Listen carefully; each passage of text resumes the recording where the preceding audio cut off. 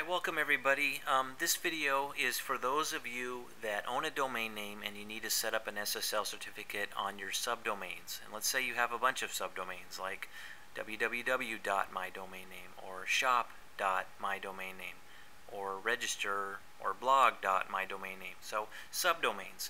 This is for SSLs on subdomains. And what you need is you're going to need a wildcard SSL certificate.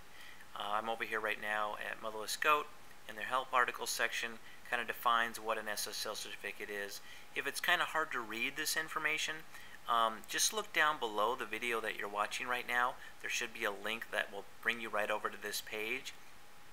One thing to note about wildcard SSL certificates, and it's very important, is that all the registrars sell wildcard SSL certificates. The encryption's the same, the, um, the ability to uh, secure. Your subdomains is the same, multiple subdomains. The only difference is basically the price.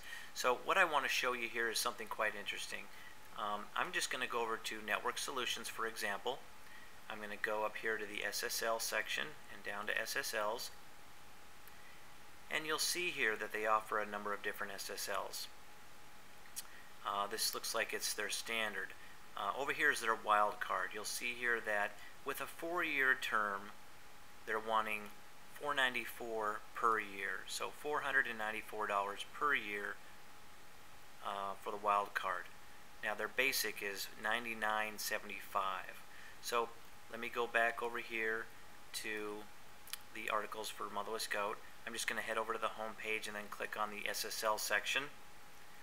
It's right up here. And you'll see here if I scroll down standard plan is only $29.99, not $99.75.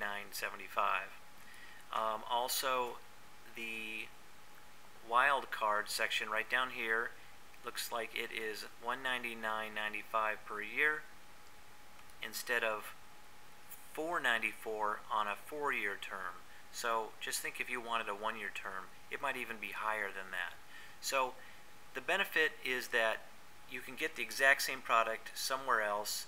Uh, might save you some money. Now, keep in mind the standard plan does not do subdomains. So if you have any questions at all, um, you can just give them a call. They're open 24 hours a day.